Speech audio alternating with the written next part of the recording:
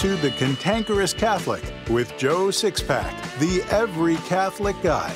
Listen to Joe tackle the really tough moral issues, current events, and politics from a Catholic perspective. Now here's Joe Sixpack, the every Catholic guy. Hello again, Sixpack Warriors. Welcome back to The Cantankerous Catholic, episode 162. I believe in God, the Father Almighty, creator of heaven and earth, and in Jesus Christ, his only Son, our Lord, who was conceived by the Holy Spirit, born of the Virgin Mary, suffered under Pontius Pilate, was crucified, died, and was buried. He descended into hell. On the third day he rose again from the dead. He ascended into heaven and sits at the right hand of God the Father Almighty. From thence he shall come to judge the living and the dead. I believe in the Holy Spirit, the Holy Catholic Church, the communion of saints, the forgiveness of sins, the resurrection of the body, and life everlasting. Amen.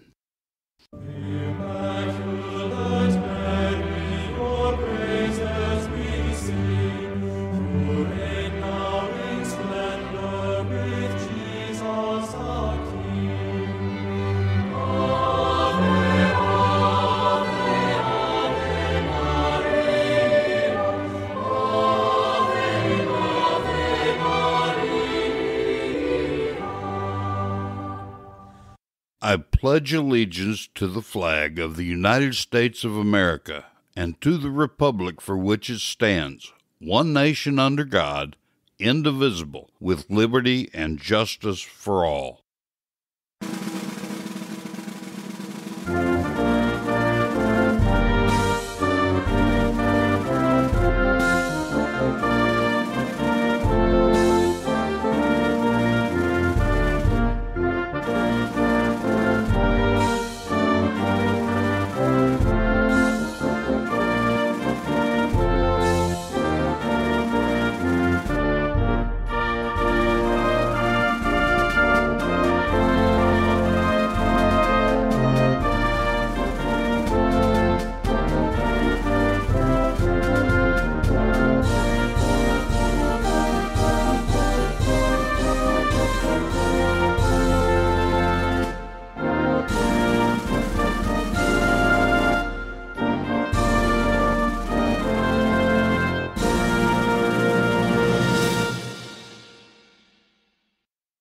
Prelates such as Archbishop Salvatore Cordileone of San Francisco, Bishop George Thomas of Las Vegas, and Bishop James Conley of Lincoln are three bishops American Catholics are holding up as stellar members of the hierarchy because they've taken a stand against allowing pro abortion politicians from receiving communion.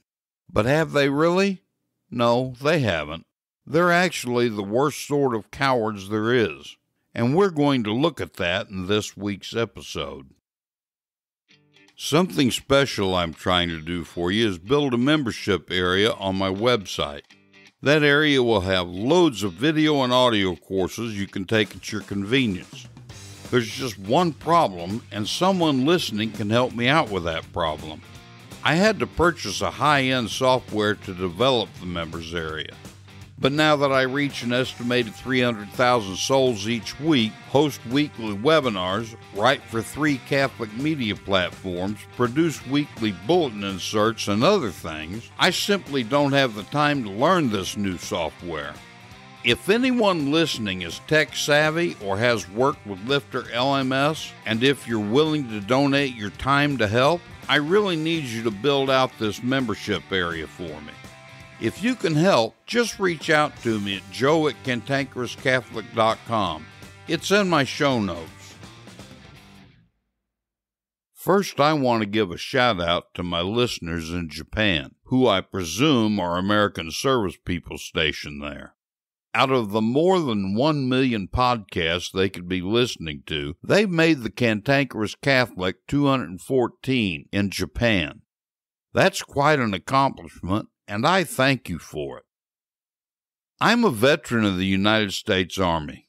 I joined the Army for two reasons because I love this country and because I knew I'd go in a boy and come out a man. I learned a lot about courage, honor, human dignity, pride, and loyalty. Consequently, the three human characteristics I most admire and respect are courage, honor, and loyalty. On the reverse side, the characteristics I most loathe are cowardice and betrayal, noting that those two characteristics by their nature include dishonor. In November in Baltimore, the USCCB moved forward with its long awaited document on Eucharistic coherence.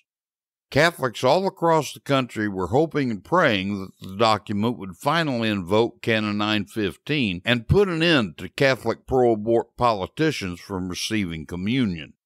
But our Judas like bishops once again betrayed Christ and the Catholic laity in this country. All they did was to issue a document about the Eucharist with information we already knew, and instead listened to Pope Marxist, who said, Communion is not a prize for the perfect. Communion is a gift, the presence of Jesus and His church. Faithful Catholics in America were once again disappointed by our hierarchy. Consequently, there was an incredible amount of blowback, and the weaker of the Judases among them felt the need to do something. The first act was Archbishop Cordileone. He's being held up by many of the laity as a man of great courage, a man who's seen as bucking his brother sociopaths with croziers. First, he revealed that he had not taken the jab for COVID, making the laity believe he's a real maverick. Then he asked the laity to pray for the conversion of Nancy Pelosi and stated publicly that Catholic politicians who supported abortion should avoid presenting themselves for communion, making the laity think he was a stallion in the mitred horse herd, when he's really just a broken down gelding in a corral of mitred horse dung. Everything he's done is merely smoke and mirrors because he only suggested that these pro abort politicians not receive communion. He hasn't actually forbidden Pelosi or any other abortion supporter in his archdiocese. He's a coward. He hasn't the courage to stop the sacrilege being perpetrated against the body and blood of Jesus Christ, the God he's sworn to defend with his life. Then there's Bishop Thomas of Las Vegas. He said, quote, if a politician from the Diocese of Las Vegas finds himself or herself at odds with the Church's teaching on the sacredness of human life, I ask him or her to voluntarily refrain from reception of Holy Communion while holding public office. He asked them to voluntarily refrain from communion. That's like asking a street corner drug dealer to voluntarily refrain from selling drugs. It ain't going to happen. Then Bishop Thomas further exposed his cowardice when he said, I place the onus of that decision upon the individual politician's shoulders and not on the backs of pastors or Eucharistic ministers. The onus is on you, Your Excellency. The pols won't accept that onus, and certainly priests and extraordinary lay ministers of the Holy Eucharist should deny communion to those who publicly support abortion, but they won't. The reason they won't, Excellency, is because they know you don't have their backs. If you had their backs, you would have invoked Canon 915 against these politicians to let everyone know you're serious about protecting the very Jesus Christ in his Eucharistic form you've sworn your life to protect. But since you asked the pols to refrain from communion voluntarily, the priests know that if they deny communion to those pols, that it'll come back to bite them on their fifth point of contact. You coward! Why can't you take the heat instead of sacrificing your priests or expecting these pols to do what's right? They're already doing wrong because they promote abortion. You're the worst sort of coward because your lack of commitment that throws the sole responsibility on the pols and expecting priests to follow up is like a terrorist holding a child in front of him as a shield from bullets being shot at him. A fellow coward bishop is Bishop James Conley of Lincoln, Nebraska. He was impressed with your act of cowardice and told us so when he said, I commend Bishop Thomas on his courageous stance, end quote. Apparently, Bishop Conley is another bishop who thinks terrorists are justified using a child as human shield. The only member of the USCCB I know of who actually took a stand several years ago and invoked Canon 915 against pro abort politicians is Bishop Thomas Paprocki of Springfield, Illinois. Lots of bishops have made statements that pro aborts need to refrain from communion, but only Bishop Paprocki has done what needed to be done. Little Dicky Durbin, the Illinois senator, knows he's not welcome to receive communion in Springfield. Of course, little Dicky simply stated that he'd perform his sacrilege elsewhere. And that's more than shameful. Not because little Dicky is going elsewhere to perform the sacrilege. After all, we expect demonic dim worshippers of Moloch to continue doing their thing as long as they can. What's shameful is that little Dicky can actually go somewhere else. Why isn't every bishop in the nation backing Bishop Paprocki? Of course, we know why.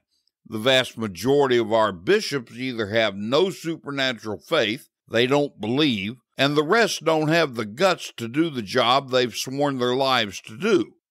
What is the canon that Bishop Paprocki invoked that no other bishop is willing to use? Canon 915 reads, Those upon whom the penalty of excommunication or interdict has been imposed or declared, and others who obstinately persist in manifest grave sin are not to be admitted to Holy Communion. End quote. Notice that this canon doesn't say those who obstinately persist in manifest grave sin are to voluntarily refrain from communion, but that they are not to be admitted to Holy Communion at all. Period. End of sentence. Although politics is certainly involved here, because we're talking about politicians who support the slaughter of innocent babies, American citizens sent to death absence of crime, due process of law, and conviction, this isn't a political issue. Not for Catholics, anyway. Three weeks ago, I proved to you, even you theologically thick Catholics, that Jesus is really and truly present in the Most Holy Eucharist. The Catechism of the Catholic Church says, In the Eucharist, Christ gives us the very body he gave up on the cross the very blood which he poured out for many for the forgiveness of sins. End quote. In 1 Corinthians 11 27 through 29, Paul writes, Whoever therefore eats the bread or drinks the cup of the Lord in an unworthy manner, meaning in a state of mortal sin, will be guilty concerning the body and blood of the Lord. Let a person examine himself then, and anyone who eats and drinks without discerning the body eats and drinks judgment on himself. Now, if the Eucharist is a mere symbol or representation of Jesus, how in the world can you eat judgment on yourself by receiving communion while in a state of mortal sin? And this was reiterated by every church father from the very first century and has been taught by the Catholic Church for 2,000 years. No, this isn't a political issue, but rather a spiritual issue. Our Lavender Mafia bishops of the criminal empire known as the USCCB is voluntarily subjecting Jesus Christ to the worst sort of indignities. It's sacrilege. We shouldn't be surprised about that, though. Let me remind you that two weeks ago, Michael Voris told you on this show that he overheard one bishop say to another bishop in Baltimore, Quit talking about the deposit of the faith. There is no deposit of faith. We don't believe. Jesus tells us quite clearly what he intends to do about these bishops in Revelation 21 8 when he said, But as for the cowardly, the faithless, the detestable. As for murderers, the sexually immoral, sorcerers, idolaters, and all liars, their portion will be the lake that burns with fire and sulfur, which is the second death. Every single bishop in the USCCB fits into at least one of the eight categories of evil that Jesus mentions in this passage. The only one of these not fitting any bishop that I'm personally aware of is Saucers. However, the USCCB is full of cowardly, faithless, murdering, sexually perverted, idolatrous, and lying men. Even my own archbishop is guilty of murder by covering up a murder for another bishop. These are evil men, evil men who beg for your money to finance their criminal activities. Look, we have to respect the office of the episcopate, but we don't have to respect the men occupying those offices when they do absolutely nothing to earn our respect and trust. To respect and not fight them is to be complicit in their evil. Like it or not, Jesus will hold that complicity against you at your judgment. And trust me, these evil men won't be there to defend you. Even if they could, they wouldn't. They won't defend the faith or the faithful now, so it would be feckless to expect them to do it then. We have to fight, six pack warriors. We have to give them so much trouble, public humiliation, and embarrassment that they'll be forced to step down and or repent and become transparent. Therefore, I'm going to propose the boldest move ever proposed. Church Militant has resistance groups in almost every diocese in the country. You should join or start one if you're not already a member. Then I propose that those resistance groups do whatever is necessary to fund and hire competent private investigators to investigate all aspects of their bishops' lives and function in their offices then publicly expose the things uncovered by those investigators, no matter how embarrassing it is to the bishop or the church. Jesus can defend his church, so don't worry about embarrassing her. As for the bishops, on the other hand, this is beyond a doubt the best way to get them, because cockroaches can't stand the light of discovery. Let's begin a conversation about this to see how you think about this proposal. At the bottom of the page that contains my show notes is a place where you can comment. Let's begin the discussion there.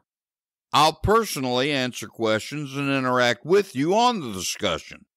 Remember, Six Pack Warriors, comfort and conviction don't live on the same block.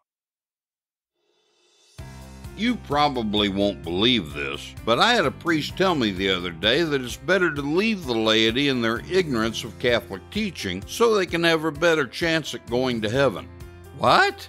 The Catholic Church clearly teaches that a Catholic's ignorance of the faith is an evil, a privation, that the human mind created in God's image is made to know truth. I can't judge the state of this priest's soul, but I can judge what he told me. What he said implies that he really doesn't care about the souls of his parishioners. Fortunately, I can know that faithful priests aren't that way. Jesus established the Catholic Church for one reason and one reason only so we'd have a chance to go to heaven, a chance to become saints. As I heard a local priest say in a homily a while back, if you don't want to become a saint, why on earth are you a Catholic? Since at least 95% of Catholics neither know nor understand the Catholic faith, a chance to become a saint isn't possible for them. Conscientious priests and devoted laity naturally want to help parishioners do that. Well, I can help you with that. Introducing the What We Believe, Why We Believe It bulletin inserts. Endorsed by Raymond Leo Cardinal Burke, each of these inserts teaches a thumbnail catechism lesson. When parishioners begin to get involved, they'll get many more benefits besides, and at a cost of only $19.95 a month. But you won't start out paying that because I want to give you a three month subscription free of charge just to try it out. Take 11 minutes to watch the video fully explaining it by clicking the link in my show notes that says Six Pack System Bulletin Inserts to learn more. A lot of lay people get a subscription for their parish as a way to support the parish without giving the bishop any of their money. To learn more, click on the link in my show notes that says Six Pack System Bulletin Inserts. It just requires 11 minutes of your time. Joe Sixpack, The Every Catholic Guy wants to make sure you're informed about all the Catholic news you need to know. Here's Joe Sixpack's top five Catholic news picks for this episode. Catholic news pick number five. Hats off to Fox News. The fundraising platform GoFundMe reversed a decision to redistribute money given by thousands of donors to the Canadian Freedom Convoy protesting COVID 19 regulations. GoFundMe froze the convoy's official campaign on Friday, claiming the convoy was violent and unlawful. At first, GoFundMe asked donors to submit refund forms and promised to donate to charities any money not properly returned. Hours later, GoFundMe walked back the refund applications and promised to refund all donors automatically. Their change of course came after Governor Ron DeSantis threatened to investigate the company for fraud. Woohoo! You can read the whole story by clicking the link in my show notes. Catholic news pick number four. Hats off to Yahoo News. Arlington Circuit Court Judge Louise DiMatteo of Virginia on Friday temporarily halted an executive order by Governor Glenn Youngkin that allowed parents to opt out of school mask mandates for their children. Keeping rules in place that have been established over the school year helps children, families, and staff understand how they may be impacted during the pandemic, Judge DiMatteo wrote. She ruled in favor of seven boards that filed a lawsuit challenging the governor's order. Why, you no good, stinking, rotten rascal! You can read the whole story by clicking the link in my show notes. Catholic news pick number three. Hats off to the Chicago City Wire. A court ruling nullified Democratic Illinois Governor J.B. Pritzker's draconian mask requirement for school children, but the Archdiocese of Chicago said it would ignore the ruling and continue to force kids to wear masks. Catholic Vote Brian Burch responded The science is clear. Continued masking of children poses real and substantial risk to the development of children. They are abusing and assaulting their students with these policies. Consider for a second that there are five and six year old children that have never seen the face of their teacher, ever. Oh, you've got to be kidding me. You can read the whole story by clicking the link in my show notes. Catholic news pick number two. Hats off to the Washington Examiner. Some are calling for pretender Joe Biden to make major staffing changes. One prominent target is White House Chief of Staff Ron Klain. As critics say, he has steered the administration into an ever leftward position and a number of unforced errors.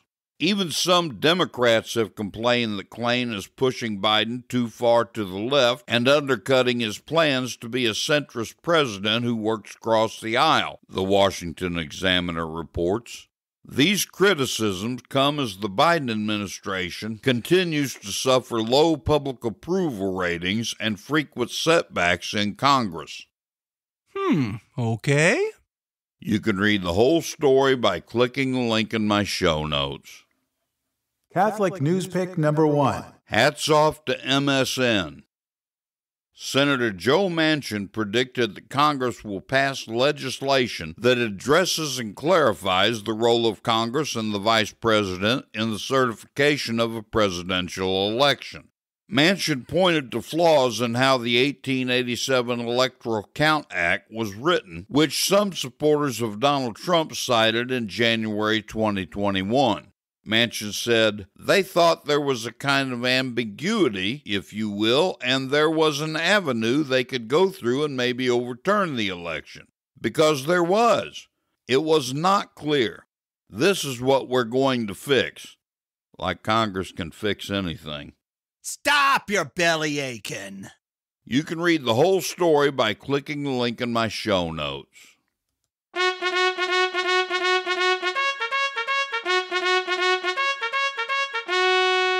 I am hard, but I am fair.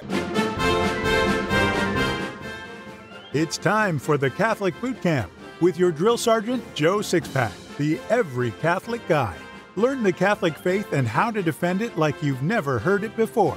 This boot camp is tough, so there's no political correctness, no spirit of Vatican II, and no namby-pamby platitudes. Drill Sergeant Joe Sixpack, the Every Catholic Guy, will prepare you for spiritual war. Now here's Joe Sixpack.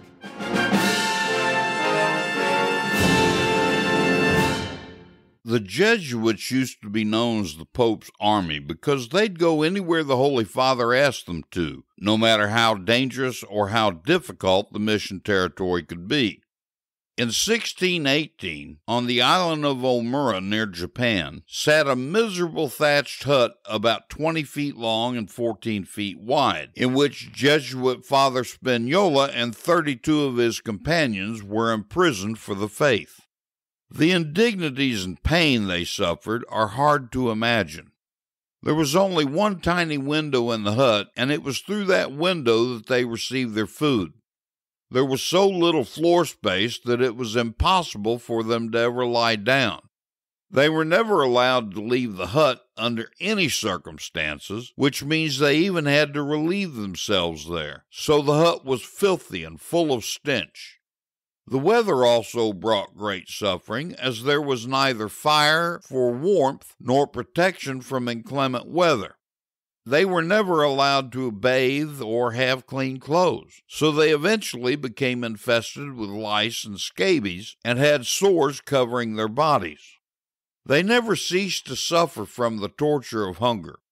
Every day, all they received for food was two little spoonfuls of cold rice cooked in water, a cup of some bitter liquid, and a little salad. Their greatest luxury was a piece of moldy black bread. For four years they languished in this little bird cage under these horrible conditions, but God didn't neglect his holy servants. The local Christians smuggled into them hosts, wine, candles, and everything they needed to celebrate the holy sacrifice of the Mass. Father Spagnola would say Mass every day and drew his strength, cheerfulness, courage, and perseverance from the holy sacrifice of the Mass. After his release, in a letter to his superior, he wrote, The bread of Holy Communion gives new strength to the soul and body. This heavenly wine inflames my heart so much that I not only regard all my former sufferings as light and easy, but would willingly suffer far greater pains and offer up my life a thousand times for Him who gives Himself to me with so much love and generosity in this holy sacrament. At first glance of this story, we see only the suffering of a priest of the living God and his companions. At least that's what we see through our natural eyes. However, if you learn to look at this story, indeed all events surrounding us, through spiritually sensitive eyes, there's far more going on here than mere suffering. Viewing this through our natural eyes, we wonder how people can endure such suffering and still have the ability to write what Father Spagnola did to his superior. But the perspective given through spiritually sensitive eyes tells us the whole story. All seven of the sacraments have sacramental graces, that is, actual graces specific to a particular sacrament. There's an obvious abundance of sacramental graces being given by God and accepted by Father Spagnola from five of the seven sacraments. The sacraments of baptism led Father Spagnola into the priesthood in the first place, and they gave him the desire and willingness to go to Japan and spread the gospel. The sacramental graces of confirmation gave him the courage to remain steadfast in his faith under the immense suffering from the persecution he was exposed to. The sacramental graces of holy orders enabled him to stay true to his priesthood, encourage his companions, be able to state his willingness to suffer even more for Christ, and to be able to risk life and limb for that greatest of all sacraments, the Holy Eucharist. Finally, it was the sacramental graces of the Holy Eucharist that enabled Father Spagnola to say that he would willingly suffer far greater pains and offer his life a thousand times over for him who gives himself to us with so much love and generosity in this holy sacrament. Most of us, no matter how hard we may try, can't seem to make it through a single day without failing our Lord by the commission of sin, mortal or venial. I can't speak for you because only God knows the state of your soul, but I know that's true for me, so I'm guessing it's true for you. Personally, over the years, our good God has given me a horror for mortal sin, and I really can't remember the last time I committed one, but I sin nonetheless every single day. Fact is, I see myself as the worst Catholic I know, so I still offend God every day. Despite that I fail God daily, my willingness to try anew each day comes from following the example Jesus gives us from the stations of the cross. Jesus carried the sins of the world on his shoulders in the form of the cross, just as we carry our own sins on our shoulders. During his death march to Calvary, Jesus fell under the weight of those sins three times. Each time he fell, he got right back up again to move forward to accomplish what the Father intended for him to accomplish. Each time we fall by commission of sin, we must also follow his example and get back up and move forward. That's not always easy, though, because it can become disheartening to know that you fall daily, sometimes multiple times each day. But there are many ways we can make falling less frequent and getting back up easier. The focus today is on one of those many means God gives us sacramental graces. Assuming you are Catholic, and at least 99% of listeners are, you've received the sacraments of baptism and confirmation. Most of you were baptized as an infant, so you don't remember it, but you have no doubt witnessed at least a few baptisms that should make you think of your own. And your confirmation, if you're like most young people, was forgotten soon after receiving the sacrament and all the trappings that traditionally come with it. And unfortunately, many of us receive communion without really thinking about it, thus taking it for granted. But God hasn't forgotten your reception of any of those sacraments, and He continues to provide you with the graces specific to each of them.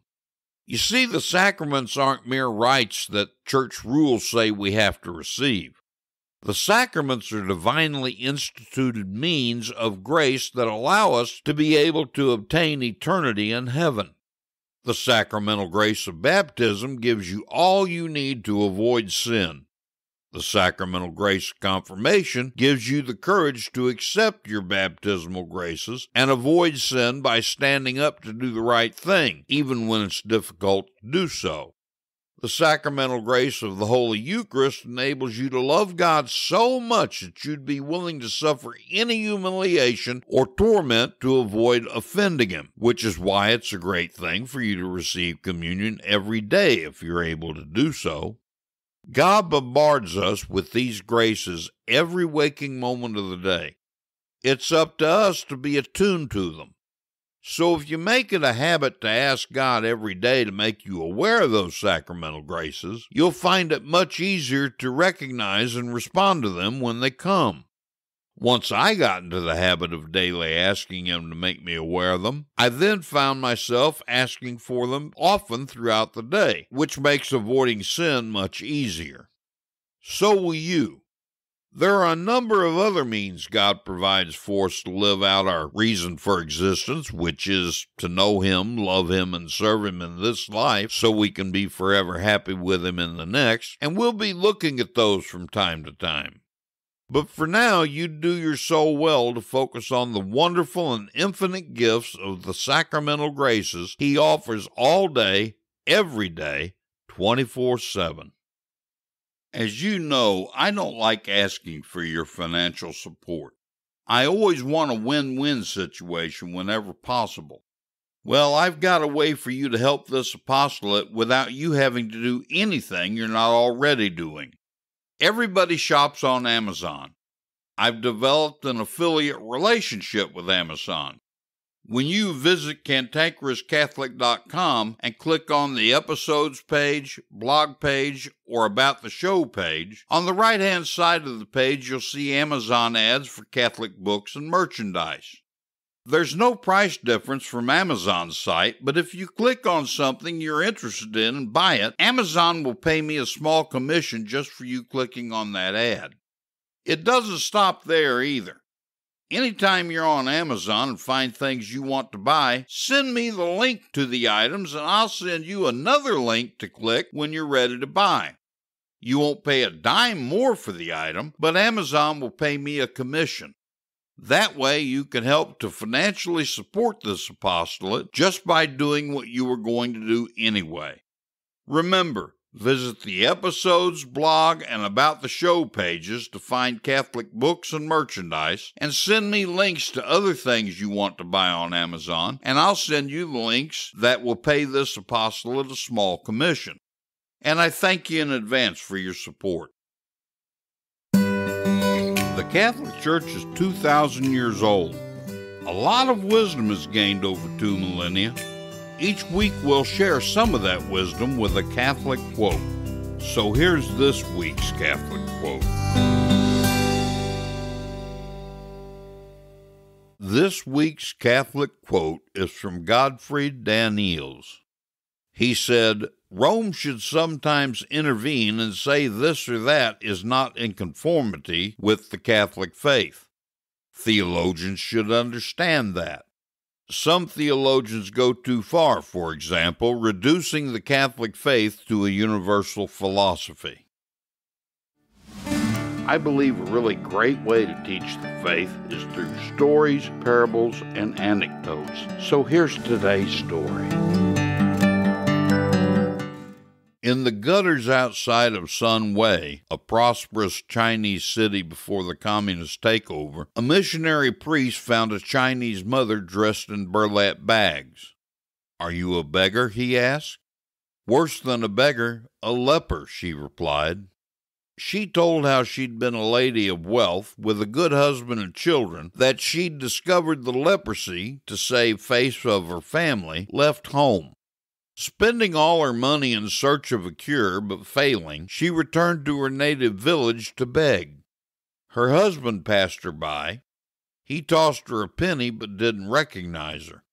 Her daughter passed, not even dropping a coin. The village elders drove her away. Eventually, she arrived outside of Sun Wei with her filthy blanket for the cold nights in the streets, with her chopsticks and rice bowl that hadn't been filled for three days. Come to our colony and we'll gladly take care of you, said the priest. But I'm too weak to walk, she replied. The young American priest stooped over, picked her up, placed her rotting form on his shoulders, and carried her to his leper asylum. The priest was obeying the fifth commandment perfectly. He took care of his own spiritual well being by becoming a priest. Now, as a missionary, he gave food, shelter, and medicine to this poor leper. Later, he'd take care of the well being of her soul as well. God's blessed you abundantly in body and soul. Be generous in helping others who aren't as fortunate as you are. This has been The Cantankerous Catholic with Joe Sixpack, the Every Catholic Guy. Thanks for subscribing, and be sure to visit cantankerouscatholic.com to get your free copy of Joe's popular book, The Best of What We Believe Why We Believe It.